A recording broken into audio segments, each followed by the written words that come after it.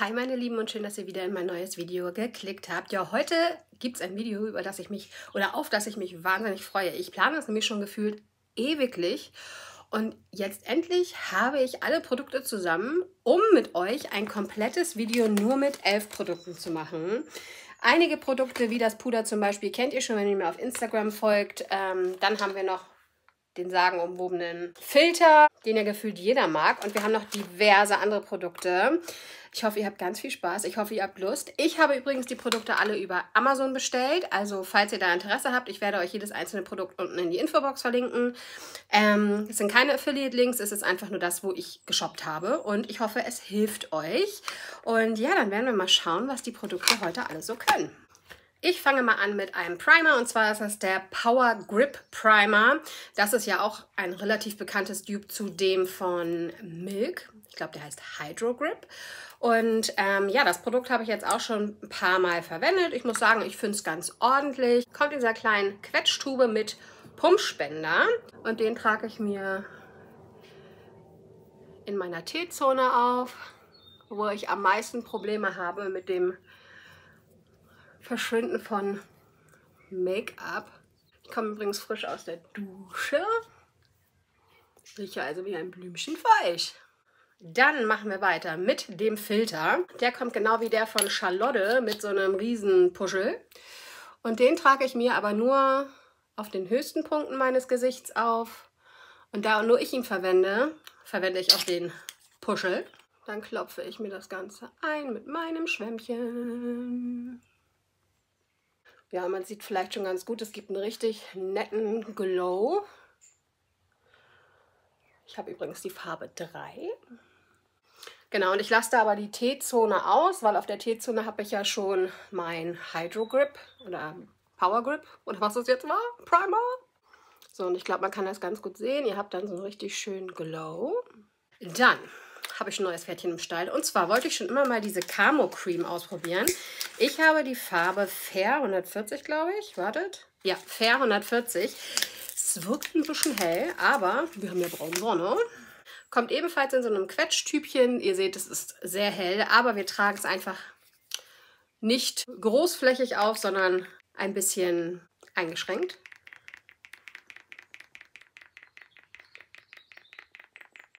Und dann trage ich mal. Hallo Kaspar. So, dann gucken wir mal, wie sich das Ganze so verteilen lässt. Ja, ist hell, aber jetzt nicht dramatisch. Die Konsistenz ist übrigens ein bisschen ja, pastös, ein bisschen salbig. Geht so ein bisschen in die Richtung Bepanthen-Creme, wenn ihr wisst, was ich meine damit. Und ich finde aber, Bisher sieht das alles sehr schön einheitlich aus. Meine Haare sind übrigens noch nass, ne? nur dass ihr euch nicht wundert. Ich habe hier, ich habe drei Pumpstöße genommen, das reicht dicker aus. Wenn ihr übrigens irgendwas im Hintergrund hört, das ist mein Sohn, der spielt in seinem Zimmer mit. Ich weiß es nicht. Ja, ich, ich würde sagen, mit dem Beauty-Schwamm, aber das war jetzt ja auch so gewollt, habe ich so eine leichte bis maximal mittlere Deckkraft. Ich denke mal, man kann das schon ein bisschen schichten, aber das mache ich nicht wegen des zu hellen Tons. Ich arbeite dann lieber mit Concealer. Muss aber sagen, mir gefällt das Ergebnis recht gut. Ich finde, es ist sehr einheitlich. Ja, ich mag's. Kommen wir zum Concealer. Und zwar habe ich da den Elf Hydrating Camo Concealer. Der hat ein satiniertes Finish. Und den trage ich mir. Guck mal, wenn der Concealer dunkler ist als die Foundation, dann weißt du Bescheid. Genau, und bei dem Concealer sieht man auch ganz gut, der hat eine tatsächlich ganz gute Deckkraft, finde ich. Also ich finde die sogar mittel bis hoch. Ihr könnt damit definitiv äh, was verstecken. Und obwohl der Ton relativ dunkel ist, ich habe, glaube ich, Light.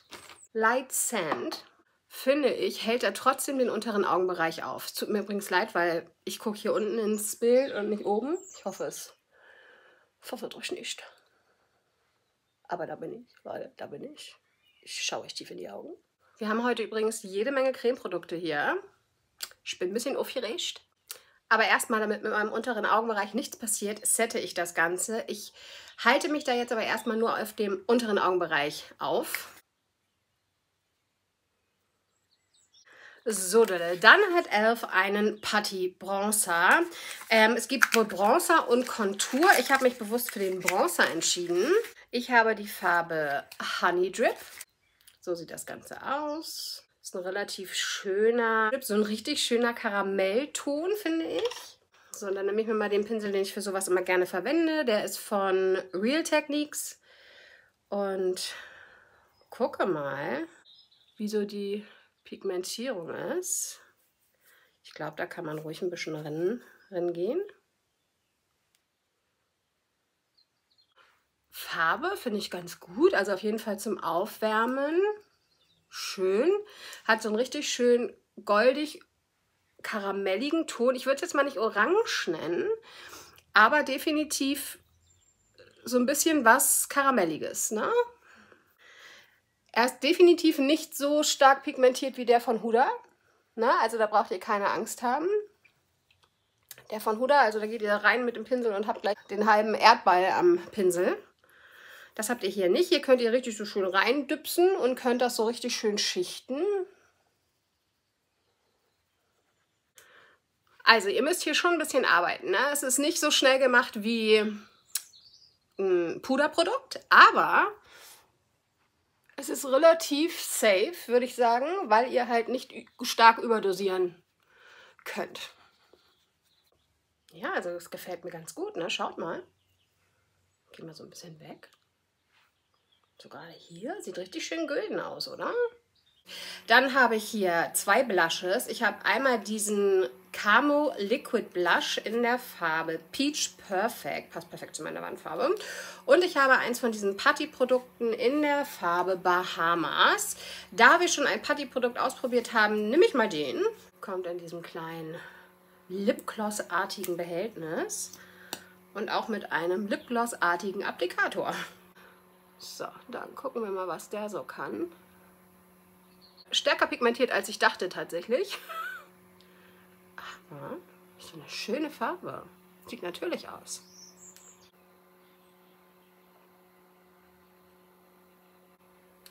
Das sieht auch sehr schön aus, ne? Schön natürlich, oder was sagt ihr? Hm, gefällt mir. So, dann habe ich ein Blush Highlighter Hybrid. Und zwar ist es dieses Typchen hier, das ist der Halo Glow Beauty Wand. Ich weiß nicht, ob ihr es erkennt an den Verpackungen, Leute, aber wir haben hier natürlich jede Menge Dupe-Alarm. Und der hier erinnert sehr, sehr stark an ein Produkt von Charlotte, was ich auch schon mal besessen habe. Ich habe es dann allerdings verschenkt. Ähm, und ich bin ganz gespannt. Das ist die Farbe Candlelit. Und ich habe gedacht, ich nehme das als Blush Topper. Kommt auch direkt oben was raus. Und dann gucken wir mal, was der so kann. Ja,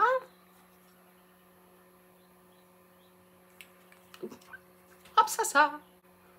Das verteile ich mal ein bisschen. Ne? Ja, aber ihr habt hier schön Glow.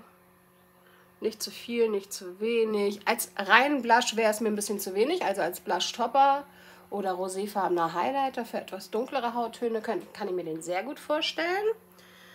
Ähm, ja, macht einen super Eindruck. Ich bin gespannt, wie das alles hält, Leute.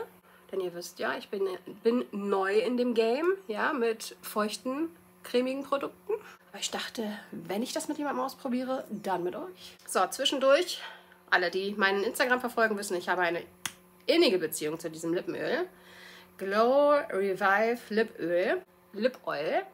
So, dann habe ich zwei Augenbrauenprodukte. Ein Brau Bra Brallpinsel und ein Augenbrauen-Mascara. Ich habe die Farbe Taub und ich glaube, ich habe beides in Taub. Ich bin der Meinung, es ist beides in Taub, Leute. Dann. Der Augenbrauenstift kommt mit so einer ganz kleinen Mine.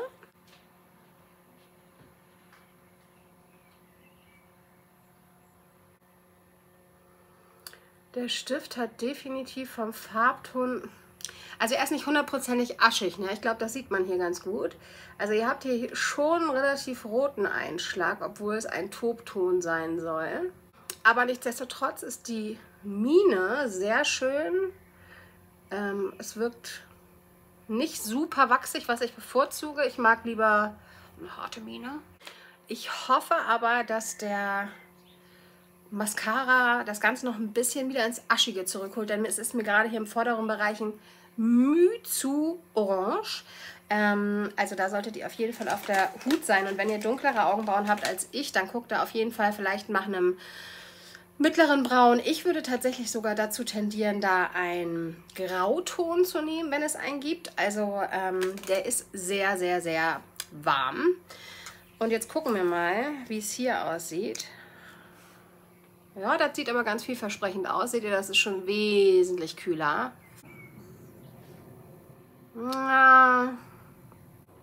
Es sind nicht meine liebsten Augenbrauen. Also, Augenbrauenmascara finde ich von der Farbe her definitiv schön. Ähm, ich finde es angenehm, weil es so eine ganz, ganz, leichte, pudrige Konsistenz hat. Das mag ich sehr. Ähm, ich bin gespannt, wie es mit meinem herkömmlichen Alltags-Augenbrauenstift ist. Ich kann mir aber vorstellen, dass mir das gut gefällt. Der Augenbrauenstift, wie gesagt, von der Formulierung her super. Farbe für mich zu warm. Dann habe ich meinem Gesicht jetzt ein bisschen Zeit gegeben, um die Produkte aufzunehmen. Und jetzt sette ich das Ganze mit meinem Puder. Ich verwende weiterhin mein Elf Halo Glow Setting Powder. Nochmal, lasst euch da nicht von dem Glow irritieren. Es ist ein mattes bzw. normal natürliches Setting Puder. Und diesmal trage ich es aber mit einem Pinsel auf. Dazu nehme ich mir ein bisschen was in meine Kappe. Und dann mit stempelnden Bewegungen gehe ich über die Gesichtspartien. Bei dem Highlighter passe ich natürlich ein bisschen auf. Das lasse ich so ein bisschen frei. So mit O.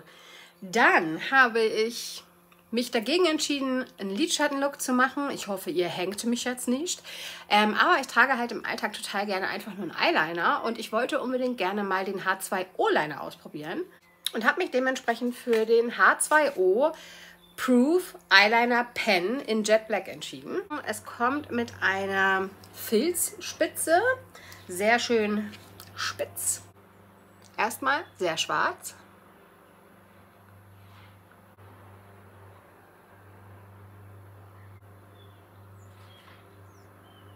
Als erstes dachte ich, es ist glänzend schwarz, aber ich glaube, das ist nur die Restfeuchtigkeit. Ich glaube, es wird matt.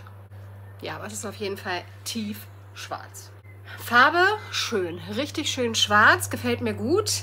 Die Spitze ist mir, mir persönlich ein bisschen zu hart. Dadurch habt ihr nämlich dieses Gezuppel und ich finde gerade, wenn man wie ich 41 oder vielleicht auch schon älter ist oder einfach auch schon früher etwas ähm, weicheres Material am Auge hat, dann ist dieses Gezupfe immer schwierig, wenn man klare Linien haben will. Da habe ich es lieber ein bisschen, ein bisschen beweglich. Das habt ihr hier nicht. Also ähm, da müsst ihr aufpassen. Wenn ihr das nämlich nicht mögt, dann würde ich den stehen lassen. Dann gibt es definitiv Alternativen, auch in der Drogerie. Ähm, aber die Farbe und ansonsten gefällt mir super. Dann habe ich eine Mascara und zwar habe ich die Elf Lash and Roll kommt ähnlich wie die Lash Sensational mit so einem kleinen bananenförmigen Gumminoppenbürstchen. Und die trage ich mir jetzt großflächig auf. Und dann kommen wir zu den Lippen. Ich nehme jetzt als erstes mal die Lippenpflege etwas ab. Ich habe mir zwei Lip Liner gekauft und zwar von diesen klassischen anspitzbaren Holz-Lip Linern. Einmal die Farbe Baddest Beige und einmal die Farbe Spill the Tea. Das eine ist ein bisschen ja, rosa peachy-nudiger, das andere ist etwas braun-nudiger. Warte für eine Deutsch, ne? ihr wisst, was ich meine. Bauchmäßig würde ich mich für den entscheiden. Da ich aber einen Lippenstift habe, der sehr hell ist, nehme ich den. Genau, kommt in so einem klassischen anspitzbaren Holzstift. Das finde ich schon mal doof. Das passt da nicht, hält nicht fest. Ich hänge mir die immer da hinten dran. Aber ist ja nur ein kleines Beiwerk. Okay, krass sehr cremig, sehr intensiv. Die Farbe ist aber schön. Die hat auch so was Honig-Karamelliges. Na, mal schauen, was das zusammen mit dem Lippenstift tut. Und zwar habe ich von Elf einen von diesen Click Sticks, nenne ich sie ja immer, die gibt es jetzt auch gefühlt von allen Marken. Der heißt Pout Cloud Lip Plumping Pen. Ich kann euch sagen, ich habe den schon sehr, sehr häufig verwendet. So ein richtig schönes Peachy Nude. Ich habe die Farbe, oh Gott, fragt mich bitte nicht. Ich werde sie euch unten in die Infobox verlinken. Ähm, richtig schön cremig, sehr, sehr, sehr hell Nude. Also ich finde die ganz, ganz, ganz, ganz schön.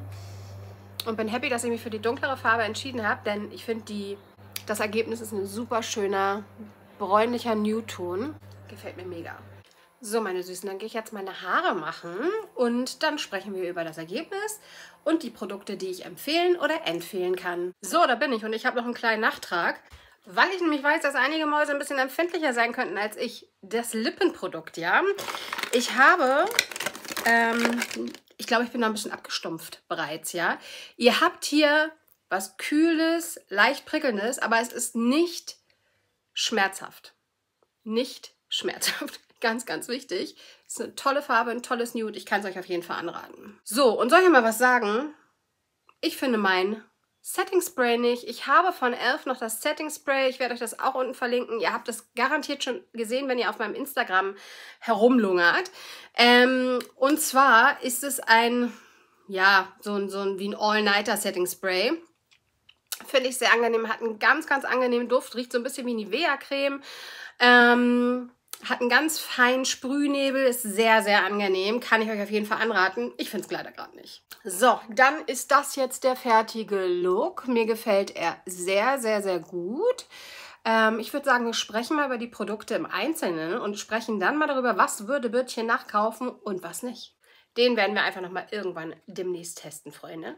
Ich beginne mal mit der Reihenfolge, wie ich es auch auf dem Gesicht getragen habe, und zwar mit dem Primer. Den Primer finde ich ganz angenehm. Ich kann euch jetzt nicht sagen, ob er viel macht, was die Haltbarkeit angeht vom Make-up im Gesicht, denn ich trage mein Make-up, würde ich sagen, normal lange. Ich trage es morgens auf, trage es abends ab und dann hält bei mir in der Regel immer alles, weil ich es aber auch mit Puder sette. Ähm, ich finde aber, es macht einen sehr schönen, ähm, sehr schönes durchfeuchtetes Gefühl. Also wenn ihr da ein bisschen Unterstützung braucht, weil ihr eine sehr trockene Haut habt etc., dann guckt euch das auf jeden Fall an. Ist es ein Must-Have für mich? Nein. Kommen wir zu diesem Produkt und da muss ich sagen, das ist definitiv eine Empfehlung von mir für euch. Ich finde, es ist ein wunderschöner Glow unter Make-up und was ich persönlich ganz toll finde, es ist ein wunderschöner Glow unter flüssigem Make-up sowie als auch unter Puder-Make-up. Und ihr wisst ja, ich bin eine Puder-Make-up-Maus. Ja, und im normalen Alltag trage ich fast nur Puder-Foundation und auch da kann man das super drunter tragen und hat einen ganz leichten, subtilen Glow. Dann die Camo Creme, CC Cream.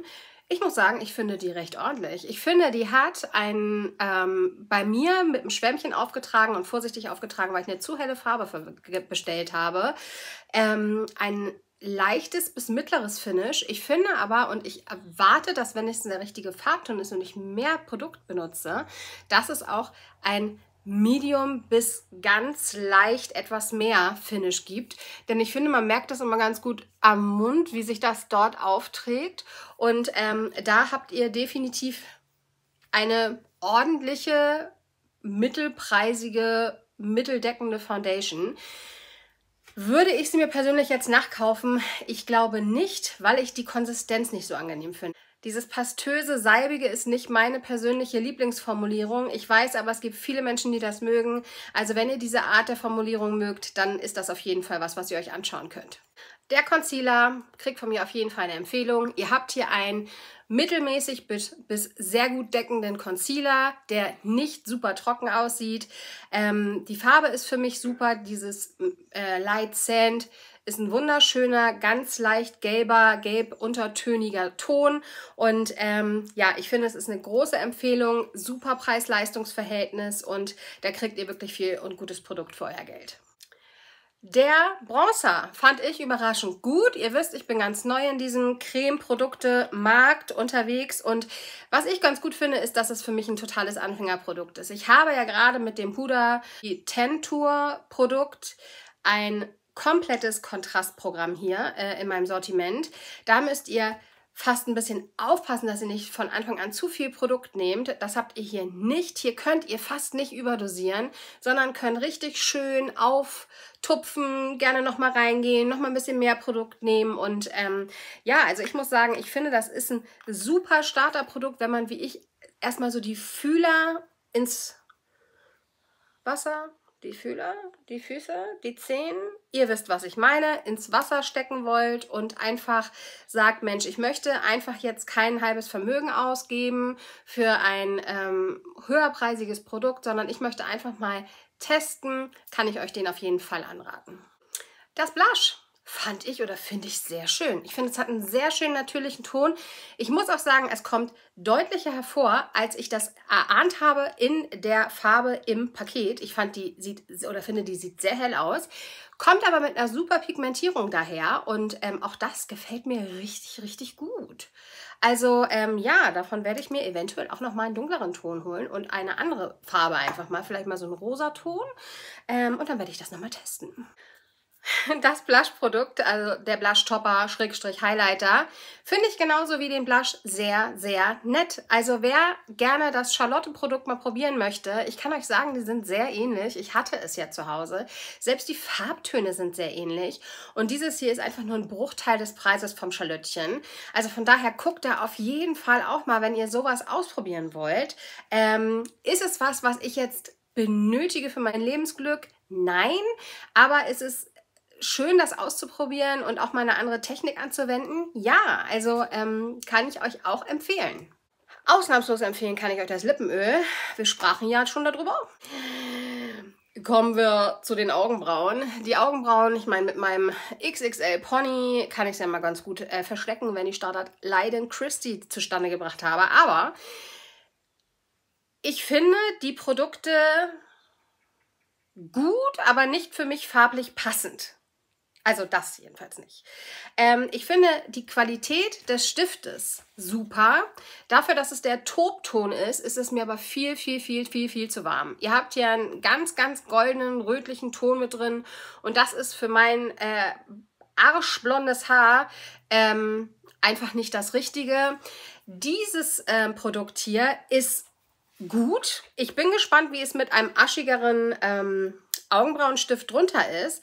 Es hat eine schöne kleine Bürste, es hat ein sehr schönes, pudrig-cremiges Produkt und ähm, da bin ich ganz gespannt, um das auszuprobieren. Ich glaube aber nicht, dass es was ist, was euch eure Augenbrauen fixiert. Ja, es ist nichts wie so ein, wie ein Laminierungsmascara oder so, sondern es ist einfach nur Farbe, bisschen Fibers und äh, dann war es das. Ne? Also ich würde sagen, das ist ein gutes Produkt für Leute, die Augenbrauen haben und keine malen müssen. Oh, ich habe das Puder vergessen. Große Empfehlung. Ich mag es. Ähm, ich habe witzigerweise mich jetzt mal informiert, was so andere Leute davon halten. Und viele finden, dass es zu trocken ist. Das geht mir gar nicht so, ne? Also ich finde, ich habe jetzt aber auch einen ganz normalen unteren Augenbereich, nicht super trocken. Und ähm, das ist spitzenmäßig, ja? Also ich finde, das ist ein mega Preis-Leistungs-Verhältnis. Ich verwende es unfassbar gerne. Es hat tatsächlich so ein bisschen mein Givenchy-Puder abge, ähm, abgesägt, was ich auch noch verwende. Aber das Preis-Leistungs-Verhältnis ist hier einfach der Oberhammer, Leute. Ähm, also das Halo Glow Setting Powder kann und möchte ich auf jeden Fall empfehlen. Dann haben wir den Eyeliner. Der Eyeliner hat ein wunderschönes, tiefes Schwarz. Es ist nicht 100% matt, sondern so semi-matt, würde ich sagen. Also wenn ihr auf ganz matt steht, dann ist es nicht das Richtige für euch. Wenn euch so ein ganz, ganz kleiner Schimmer äh, nicht stört, dann könnte es was für euch sein. Warum ich mir dieses Produkt definitiv nicht wieder kaufen werde, ist einfach, dass mir die Filzspitze zu hart ist. Sie gibt null nach und gerade wenn man wie ich eben schon Ü40 ist, dann ist die Haut am Auge einfach nicht mehr so straff wie bei einer 18-Jährigen und wenn du dann daran so zupfst, dann werden die Linien einfach nicht richtig schön gerade und ich habe halt auch keine Lust, immer einen auf den zu machen, ähm, weil das einfach nicht sein muss. Und ähm, ja, dementsprechend ist das kein Nachkaufprodukt für mich. Ich werde es aber definitiv weiter verwenden, weil den Eyeliner als solches, also die Farbe und so weiter, finde ich in Ordnung, aber die Filzspitze ist mir persönlich etwas zu hart. Die Mascara, die Mascara ist in Ordnung. Es ist keine Mascara, die ich mir nachkaufen würde. Auch wenn sie auf den ersten Anschein den Anschein einer Lash Sensational macht, wo wir alle wissen, es ist mein Holy Grail Steckenpferdchen Mascara Line. Ähm, diese hier ist mir in der Bürste ebenfalls zu hart. Ich hatte das ganze Problem auch ähnlich schon mal mit einer Benefit Mascara. Da fand ich die Mascara als solche super, aber auch da fand ich das Bürstchen und die Noppen so, so, so hart, dass also das, äh, das war fast wie eine Waffe, Freunde. Das war eine Waffe, das war die They're Real, glaube ich, damals. Alter Falter, die ging ja durch alle Betten, ja, die gute. Aber bei mir ist sie nicht gelandet, weil ich habe sie einmal ausprobiert, habe gesagt, ciao Kakao, du bist mir einfach zu hart. Und ähm, ja, genauso geht es mir hier auch. Ihr könnt super auffächern. Wenn ihr eine gute definierte Wimper haben wollt, dann ist das auf jeden Fall was, was ihr angucken könnt. Aber ein sehr, sehr steifes Bürstchen.